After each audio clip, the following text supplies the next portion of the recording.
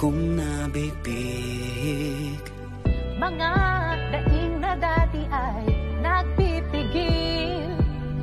Hindi na kaya pang magpasigil Sa gitsit ng mga pusong punit Ngayon ay naririnig sa milyong-milyong titig. Hinagis na ramdam sa lalamunan Kakawala Bibig kasi ng katotohanan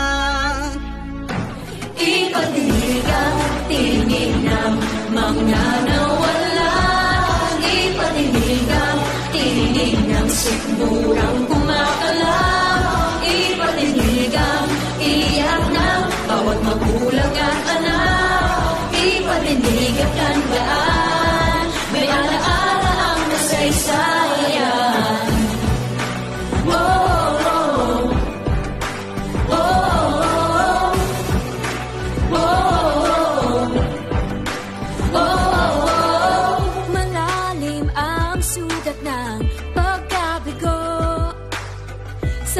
nabasag na pangako.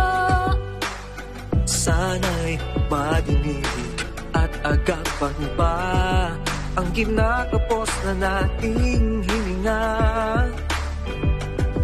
Sa gitsit ng mga pusong punit Ngayon ay naririnig sa milyong-milyong titig Hinagis na ramdam sa lalamunan Kakawala Bibig kasi ng katotohanan.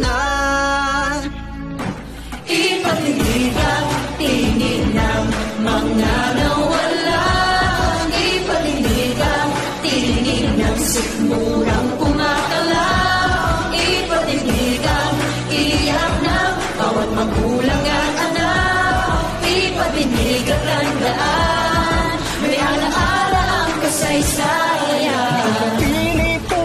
rin pumipintig Hanggang sa tuloy tumitindig Naniniwalang Diyos ay nakakanaw Sa kabila ng dilim Panibagong araw Ipatinig ang tingin ng mga nawala. Ipatinig ang tinig ng sikmurang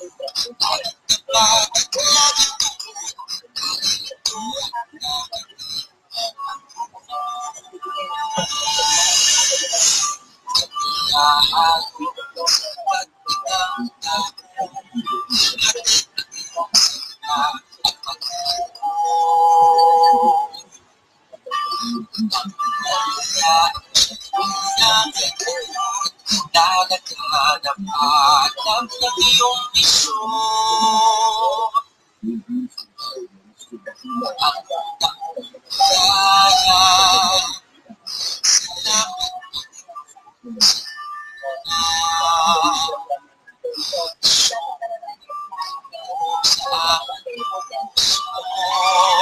Aming sarili Lagi ka mataglag Narito ang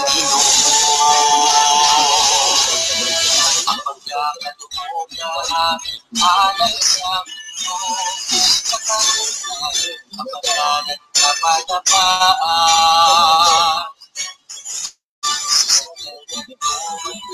Wala ang mundo Pagmamahal namin sa bawat tao Ang ang taong biyaya Salamat, salamat Panginoon. Ang taong biyaya Salamat Panginoon. Yan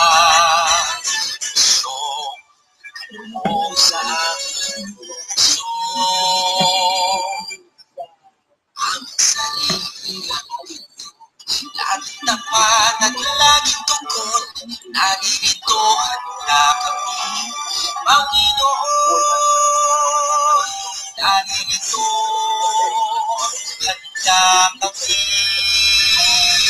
Panginoon Panginoon.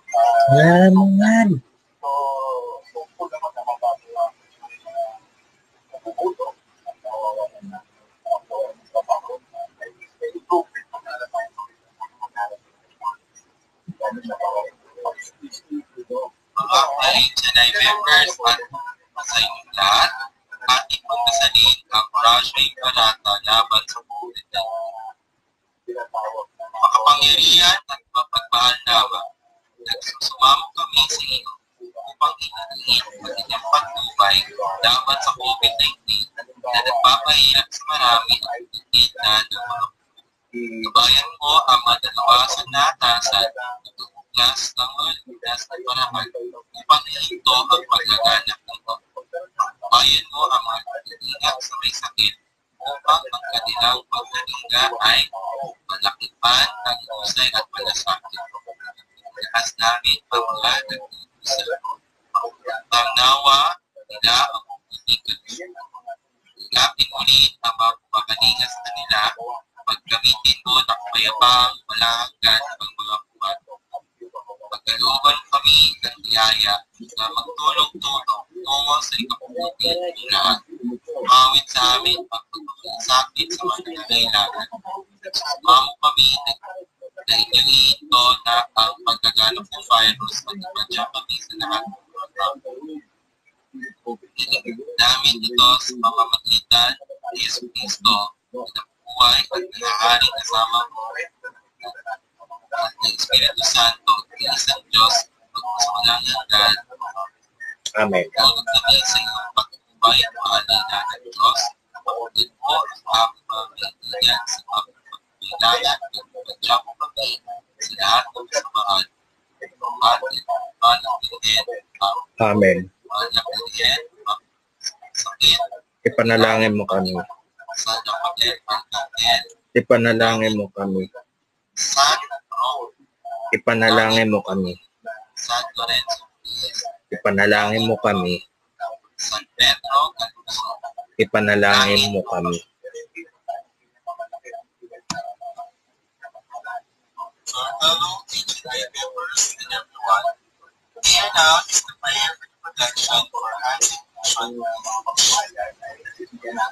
God our Father, we implore you to ask for the enlightenment and rescue prevent the success of the organization Anti-Inclusion Philippines. We ask for the repentance of the group from the false judgments of other people, including its former members. Rescue us from all sense of harm and deliver us from the lesson of revenge that comes from the devil. Keep us in putting God first, whatever is the religion of their core team, including the founder, while being inclusive to all folks inclusion, especially responsibility. LGBTQI plus people confused with gender, ethnic groups, and poorest of the world. Help us to stop ourselves from manipulation of our people and resorting unjust grudge, conspiracy, and violence, which will affect the people. We pray for its founder and his core team to be enlightened and see the light beyond the false doctrines and impure the beyond motives of false actions we make and believe, and open the eyes of truth Help of us us ourselves in life. Help us to realize that you are we have of Satan. When he stops whatever pride is so Please allow us to self We also pray for those people who blame by HNI to repent their sins or believing any false accusations made by either them or any enemy that they encounter. Forgive us our accusations. I say, I should be. This we ask in your name. Amen. Our Lady, of Pray for us. Pray for us. Pray for us. Saint Lorenzo Ruiz, Pray for us. Pray for us. Pray for us.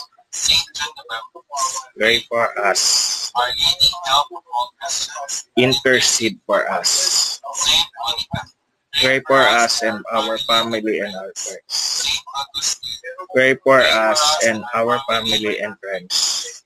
Saint Michael Archangel, Saint Benedict, Pope Saint Gaudentius, Pope Saint John Paul II, Rescue us for our unpretended wrongdoings. God the Holy Spirit, Have mercy and change the our heart all organizations, Vision all the people who are worked with the organization who had no their capacity. For those of people who the business, also includes the one in advance Amen. Glory be to the Father, to the Son, and to the Holy Spirit, as we cast the beginning is now and never shall without end. Amen. In the name of Father, the Son, the Holy Spirit. Amen. To different stages during the process of developing corporate subsidiaries, companies that use Matana ngayon eh. in effect either a series of development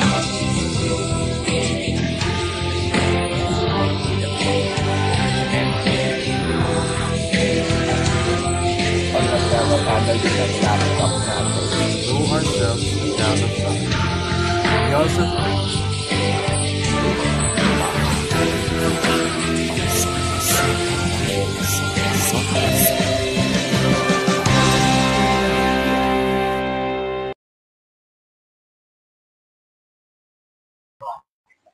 Ang mga pananaw at opinyon na mag-uulat sa programang to ay hindi ang pangunahing posisyon na mag-uulat at pamunuan ng organisasyong ito.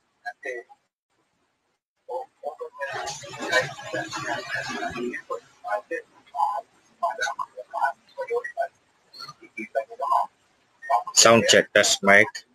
Sound check, test mic. One, two, three. Sound check, test mic.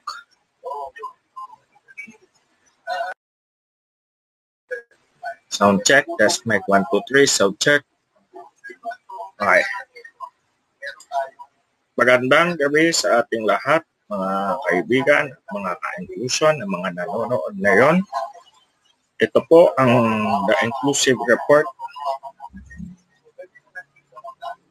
The final episode of Season 1 of 2000 as we move for the next season ibig sabihin nito. Okay. Ano ba ang tatalakayin natin mga ka-inclusion? Tatalakayin natin ang tungkol sa suicide awareness and prevention. Okay. I hope naririnig ako ng iba. Kasi kahapon nag-live stream ako. Pero ang nangyari, epic fail dahil nga rin siguro sa internet na rin. Okay, matanong ko kayo mga ka-inclusion. Ano ba ang suicide?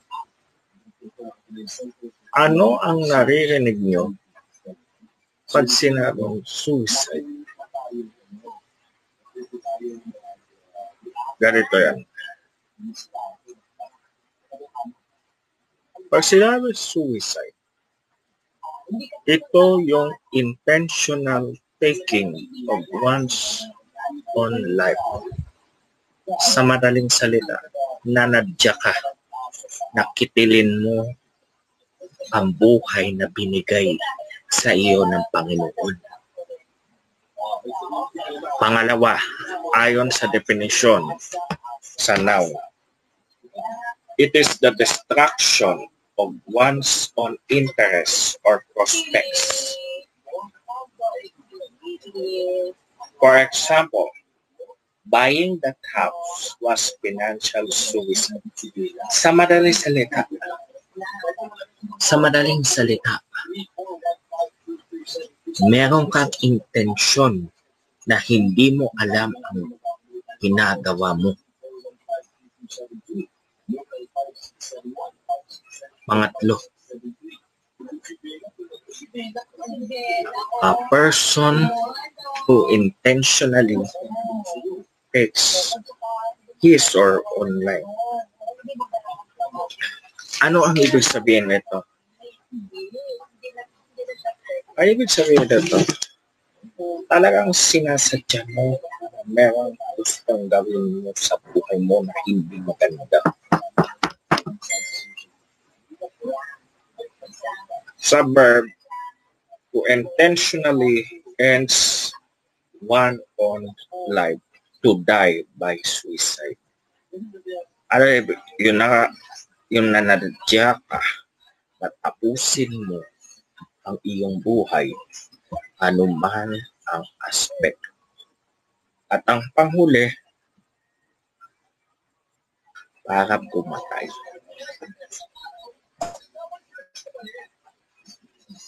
Naririnig kaya ako ng mga audios ko. I hope hindi epic fail na to. Okay, anyway. Dito na tayo. Yan. Yun, naririnig naman pala. Okay. Twitter. Base sa WHO, kada taon, 800,000 yung namamatay dahil sa suicide.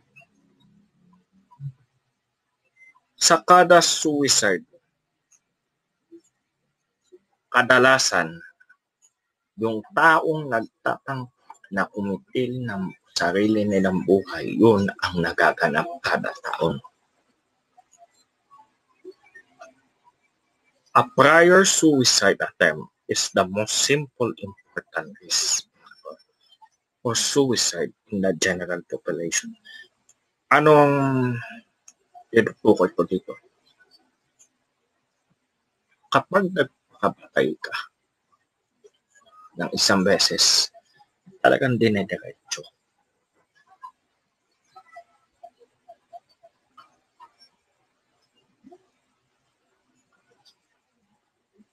Sa mga menor de edad, ito ang ikatlong usog ang suicide. Na kung saan 79% of the global suicides ay nangyayari sa middle class at low class countries o yung mga may kaya at mahihirap na bansa. Ito, ingestion, pesticide, hanging, and firearms are among most common methods of suicide at human.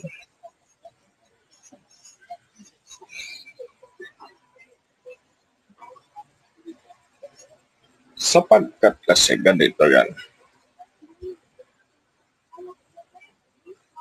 Ingestion of pesticide hanging and firearms. Yan yung kadalasang ginagamit nila para dito.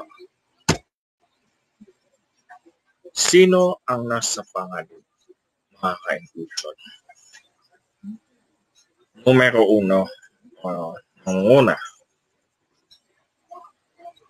yung may mental health problems. Kung nagkakaroon ka ng depression, bipolar disorder, at lagi kang balisa.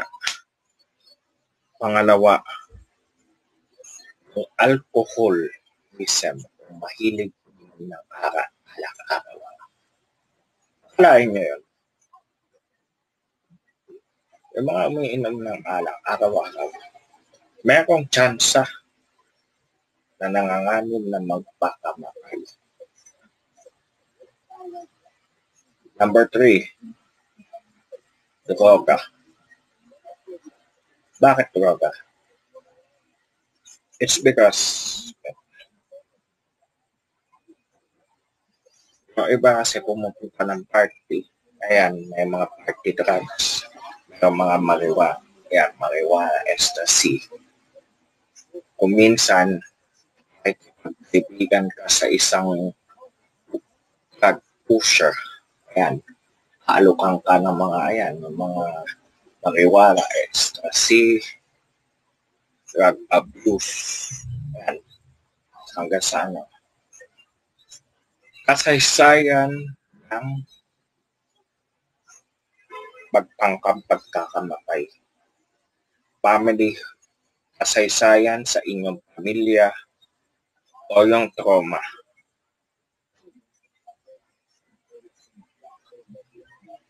Ang trauma pala pwede maka-apekto rin sa pagtangkang pagkamatay. Halimbawa,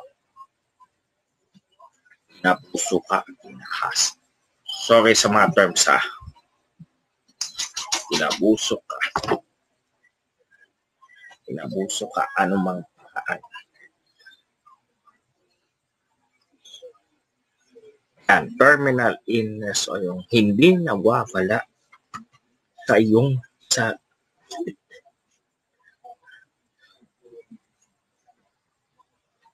sa huli, mapag-isa ka na lang at wala kang makausap ng isa.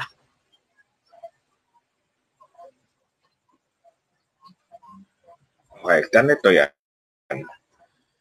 Ano ba ang mga common methods ng suicide, mga kaibigan? Baril,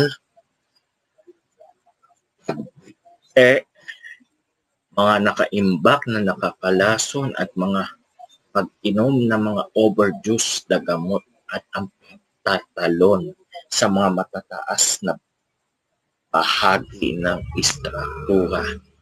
Kabilang na ang building at higit sa lahat. Higit sa lahat yung pagtatalon mo sa matataas sa tulay, sa sampapa, sa building, at iba pa. Tataka na lang tayo, bakit ko pinapakita to? Sapagkat, base sa aking nakalap na tapos sa Wikipedia, ito yung four common methods of suicide. Umpisa natin sa firearms. Bakit firearms? Number one. Sapagkat karamihan kasi sa ating mga magulang ay may mga baril na tinatago. Kuminsan din, hindi pa nga lisensyado, pumilik ng baril. Kasama ba yung airsoft gun? Yes.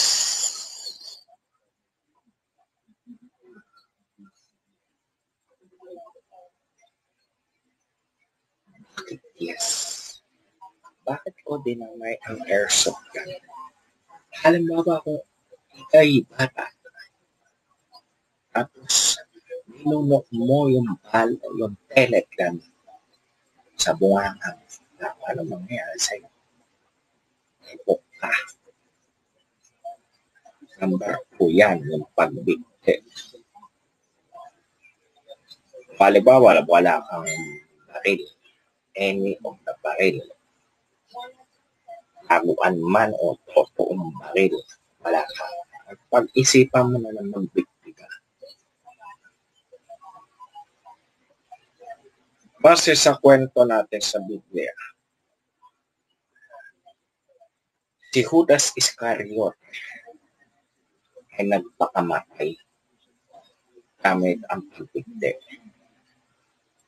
Benenta, nag trinaydor niya ang ating Panginoon bago siya magpakamatay. Pangatlo, lason. Bakit lason? Ano bang connection yan sa suicide? Minsan, pag meron kang hinahanap na hindi makita, kung meron ka problema na hindi nararamdaman, nakakalungkot ka. Nakakalungkot. Iisipin mo na lang na ay iinom na lang ako ng lason. O, kadamihan ko na ang pag-inom ng gamot hanggang sa ma- Do you think nakatulong ba yan sa iyong problema? Hindi. Itong, ito yung pagtanong sa mga matataas. Yan. Yan ang kadalasan. Alam niyo kasi, kadetikan, kung tat, ang tatanon ka, hindi ka makakapag-anon dyan. After iisipin mo na, ay, ayoko na sa buhay yung mundong ibabaw kasi ang papangit na ng mga tao dito. Kabigat tao sa bahay. Eh, iisipin ko na lang tumalon. Meron ka ba magagawa? Ang tanong, hindi mo ba sinira ang buhay mo? Sinira mo ba rin?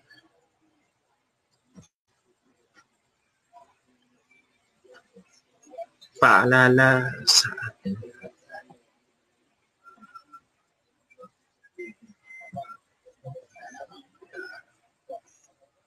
Paalala sa atin. Ito ang mga senyales ng suicide. Iba-iba na lang ang sinasabi mo. Nagbabago ka ng ugali mo. Palagi kang galit. O mainit ang ulo. Bakit konektado to? Itong tatlong to. Sapagkat hindi mo na alam kung ano ang gagawin mo sa buhay mo.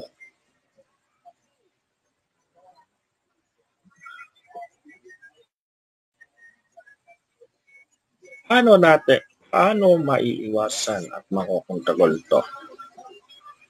Paano natin hahadlangan at iiwasan? Una,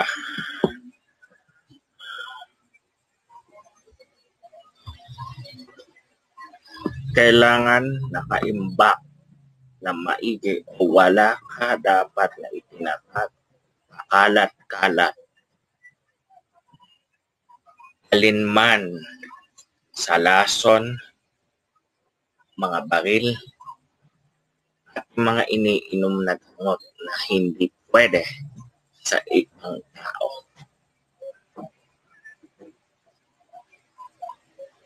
Bakit ko sinasabi ito? Sapagkat yan ang kadalasang ginagawa ng ating mga tao. Pangalawa, yung reporting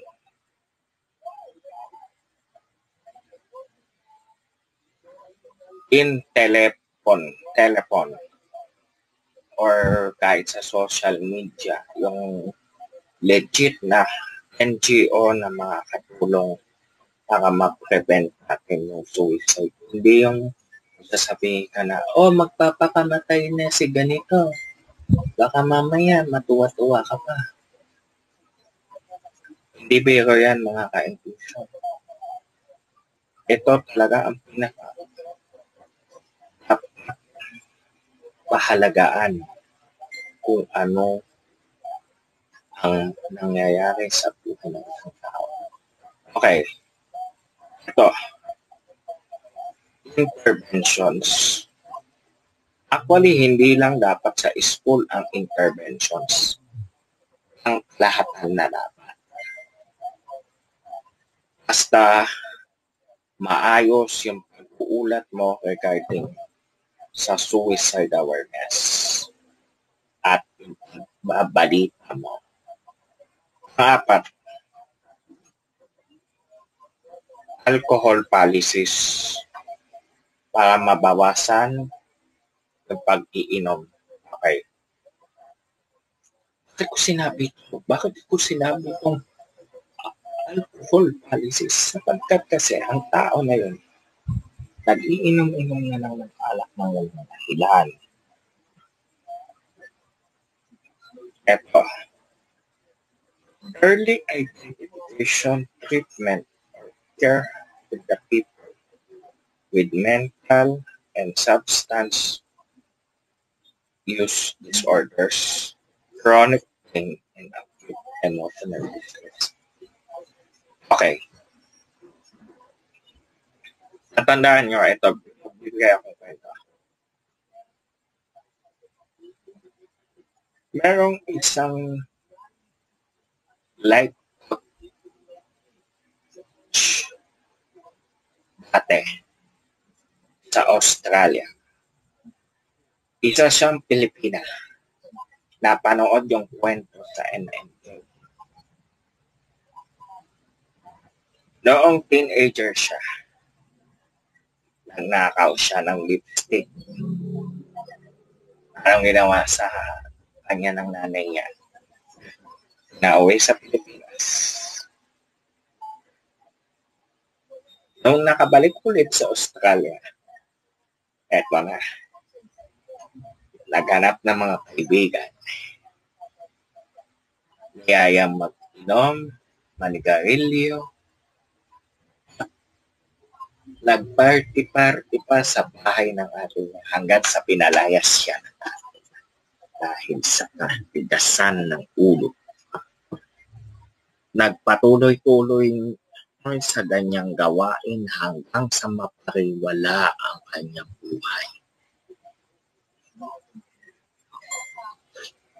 Nalungkot ang kanyang ina nang nalaman niya ang lahat ng mga pagdudusa ng kanyang anak nalungkot. Nagalit na na-disappoint nalungkot dahil nga sa mga nangyayari sa anak niya. Hanggang sa maisipin na inumin ang lahat ng mga gamot. Nabukasan, naging balisa siya nakausap siya. Dinala siya sa psychiatrist Talagang nagalit, nagalit. Pero ang kagandahan, pagtapos niya yung master's degree. At ngayon,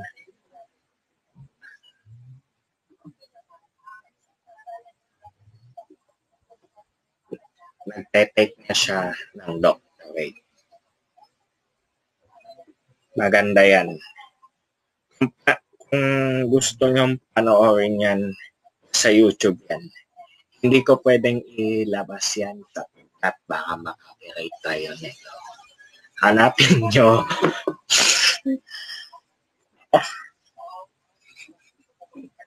sorry, sorry. Natawa ako sa SRO. Si Sinala eh. anyway, ito. Hanapin nyo MMK Kit Maria. Yan yung kwento ito na ina-apply natin. Okay, going back. Training on non-specified health workers in the assessment and management of suicidal behavior. Okay. Sino yung mga non-specified health workers? Yung mga relatives natin.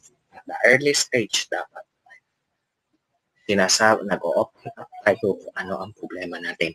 Hindi yan nagpariwala tayo sa ating mga buhay. Ang panghuli, follow-up care for people who attempted suicide and vision of community support. Why? Why I am telling this to you? It's because may pag-asa pa para sa suicide awareness.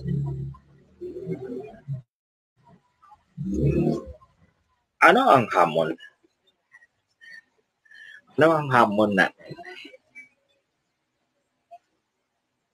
Una, ito yung stigma. Sapagkat kasi,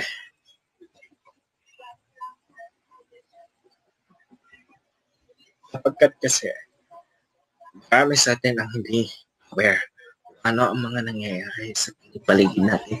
Lalo na ang pandemya. Bakit ko tinatanong, bakit may ang pandemya dito? Sapagkat kasi, bunga rin ng community quarantine and the lockdowns. Kaya yan, nagkakalungkutan na lang tayo. Yun ang dahilan kung bakit iba sa atin today, nagiging balisa, nagiging lala, at nagiging one na lang. Sapagkat kasi, hindi natin alam kung ano ang dapat. Um, hindi tayo aware kung ano ang mga nangyayari sa atin. At balikat natin na yun na nga. Oh, wala akong problema, wala akong problema, wala akong problema. Pero lang natin, meron ka palang tinatawag So, as you, that means, uh, conclusion, you must check also yourself. Kasi, in the first place,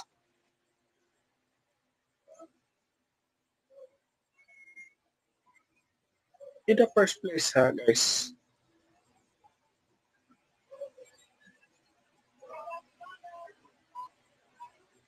ano natin masasabi ito, stigma is important. Sapagkat kasi,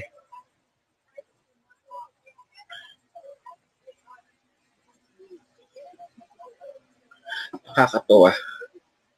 Nakakatuwa ah, sa iba na yun na oh, mag, may magpapakamatay pero maling-mali.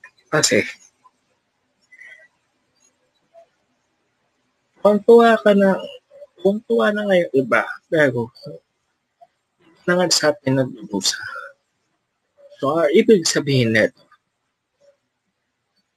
dapat nating malaman ang kinukwento ng ating kung mayroong kang problema, bahagi bahagi mo muna sa pamilya mo. Mas importante yan. Kaysa magbahagi ka sa kaibigan. Sa pamilya mo muna para sigurado na maging ano ang payo na ibigay nila sa'yo kung ano ang payo. Pero kung halimbawa, hindi ako tinatanggap sa psychiatrist ka, ayan, or sa pake, or sa mental health NGOs. Pwede yun. Ito pa ang isa pang problema sa atin. Data quality. Bakit data quality? Eh, hindi naman tayo nagbabalita na to. And, saan tayo nagkakamali? Kung kadalasan kasi, hindi na nalalaman either ng otoridad or sa ating ano ang cause ng ating mga cause of. Why? Why? Why? Why are we taking out of this? It's because yun na nga dahil sa mga nangyayari. Hindi na hindi tayo responsable sa pag-uulat sa mga otoridad. At higit sa lahat, nakikipit, balikat lang tayo.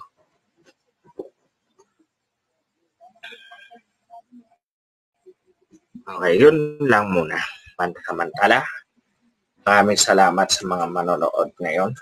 Mag-ano muna tayo sandali ha. Mailang paalala lang muna tayo regarding sa ating mga uusap at higit sa lahat sana malabanan natin ang krisis ng suicide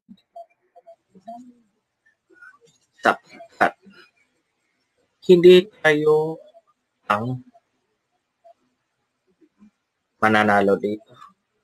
Ay, hindi tayo matatalo dito kung alam natin ang kinikilos natin, mga problema natin, at palaging magkwento na magkwento sa inyong pamilya kahit ano ang problema. Kahit magalit sila sa inyo, nawain nyo na lang sapagkat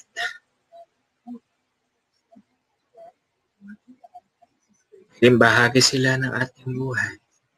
Lalo na ang in- ating mga magulang.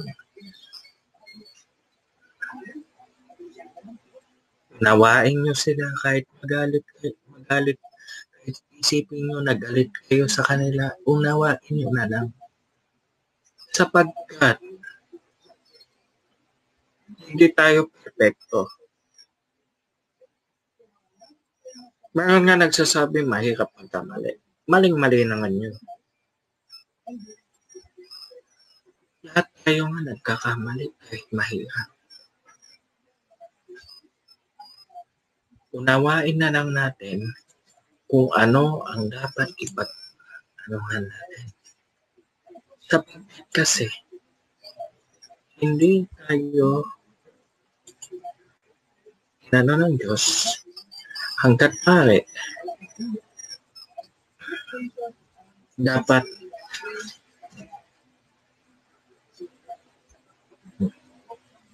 ganito kasi yan. Bago ka matulog at pagising mo, magpasalamat ka sa Panginoon Diyos na binigyan ka ng buhay. Ano man ang iyong religion. Okay? Mag-ano muna tayo sandali. Itong commercial na to, pinaka maganda sa lahat ng ating mga commercial. Kapag kasi napakita natin ang pagkakaisa. Dahil ano man naya natin together sa lahat. Walang masama. Kumagaan tayo. Dapat bangon tayo kung ano ang buhay. Balik po ang daing si Blackwood.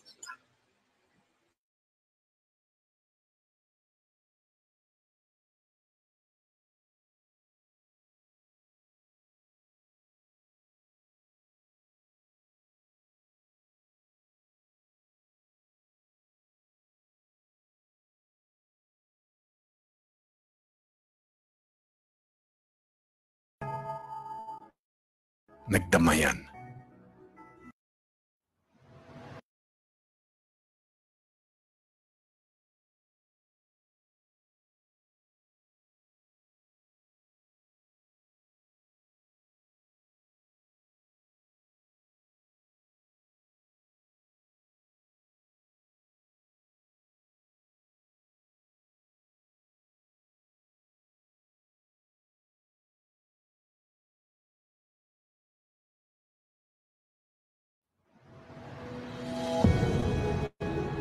Ang mag-anak, naging mas malapit.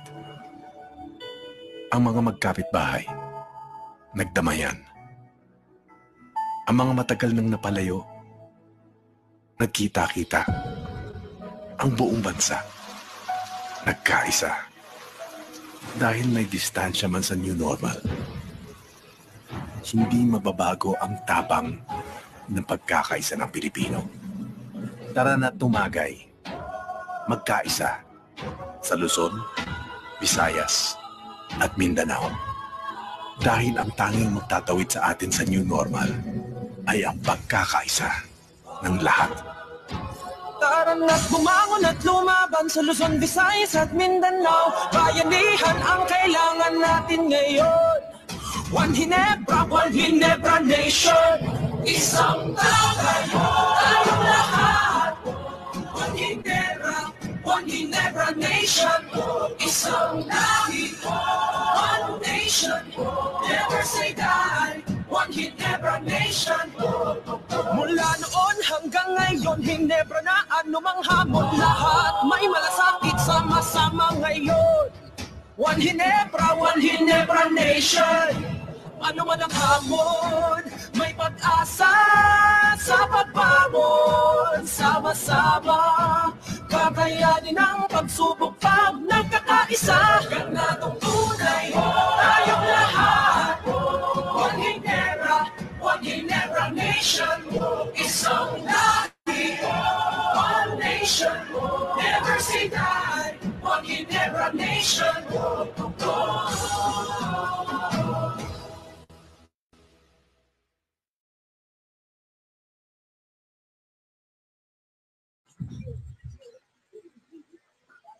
Okay, okay. Magbabalik ang The Inclusive Report mga kaibigan. Meron na lang tayong 19 minutes bago magsalita ang ating kagalang-galang uh, Pangulo ng Republika ng Pilipinas na si Ginoong Rodrigo Roa Duterte.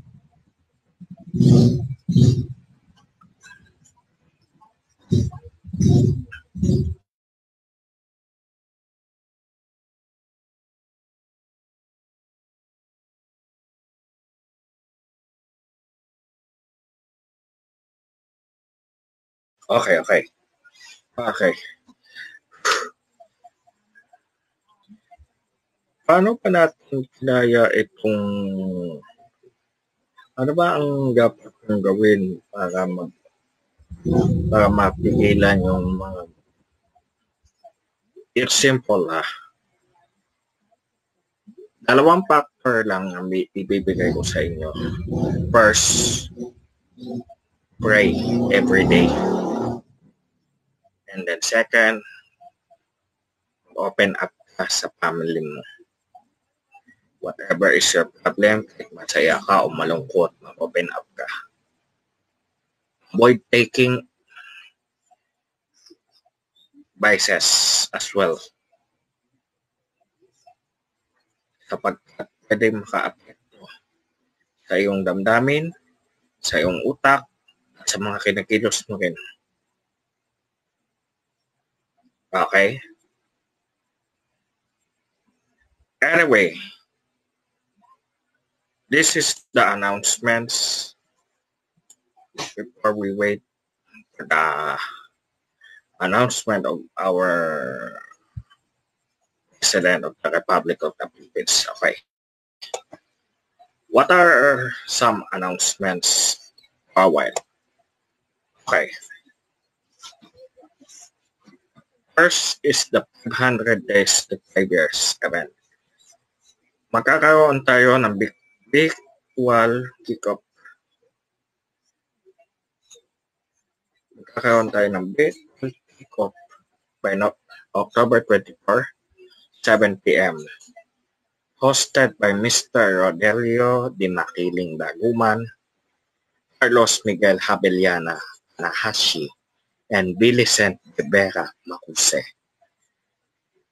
Binuo ko pa talaga yung pang, ano, okay lang. Also, they will releasing the new merchandise designs by October 21. And then, dapat na kasama yung virtual concert by December 12. But I decided na hindi pa kaya kasi hindi pa tayo gaano nakikilala.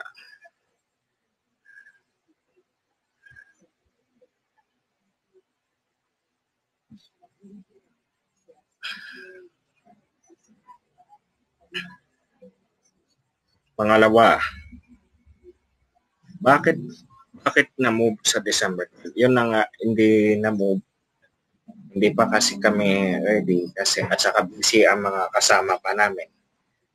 Kaya iba kasi mag may mag-aaral pa, meron nag vocational courses. Yung katotohanan. Ako kasi, I am waiting pa for the instruction kung ano ang aking status sa trabaho kung lay off ba ako or papapasukin ba ako o magiging bahagi ba ako ng skeletal work course.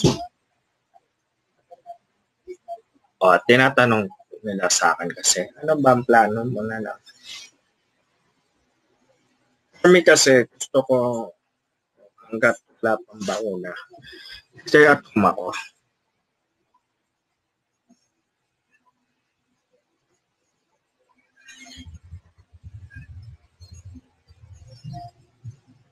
Okay, bilisan na natin na magsasalita na yung presidente.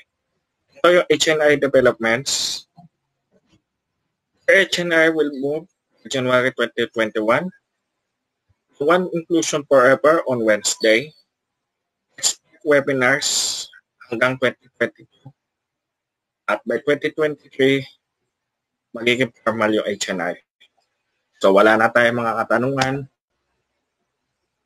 Courage does always score. Sometimes courage is the quiet place at the end of the day saying, I will try again tomorrow by Mary Ann Roger.